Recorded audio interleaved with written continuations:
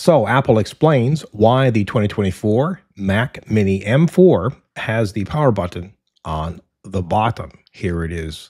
And you can see where the power button is. It's at the back left bottom. Odd? Nah, not really. I don't think so. I honestly don't use the power button on any computer system, whether it's a Mac or PC or you know whatever.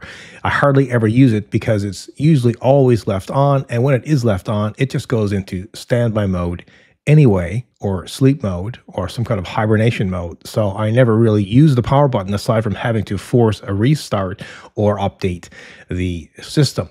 But let's go through this article. And as always, please remember to follow the link that I will provide in the YouTube description down below and have a read through it. So here is the Mac Mini, mine. I've just kind of slapped everything together here on this unit. I got it yesterday and I pretty much have it all set up. I got a few more things coming, uh, but it all works perfectly. So again, the power button, it's not at the front, it's not on the sides, it's not on the top, it's not on the back. It is at the back left bottom of the unit. And if I was or wanted to turn this thing off, I would have to flip it literally upside down or at least on its side to use that power button. Now, in some cases, that could pose a problem, right? It really depends on your use case.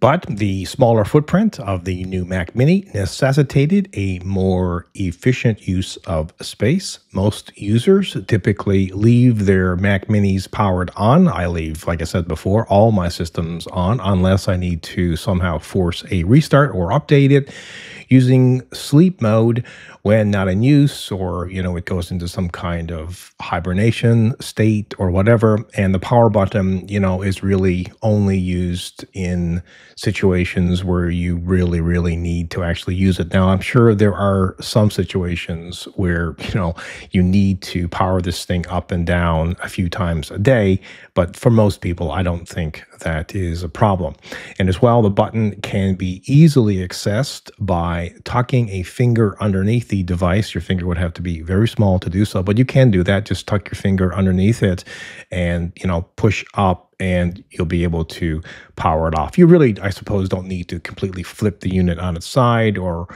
you know, all the way over to do that as long as you know and you can feel where it is.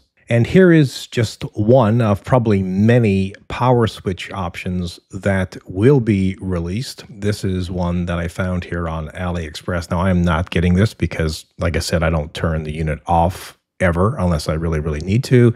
But how this works is the buttons on the top here, but it, you can see, goes to the bottom switch, right? So when you press at the top, it triggers the bottom button, which is on the Mac, to actuate, and then that button can turn the unit off or restart it. So, how do you feel about Apple putting the power button on the bottom of the new Mac Mini M4? Let us know in the comments.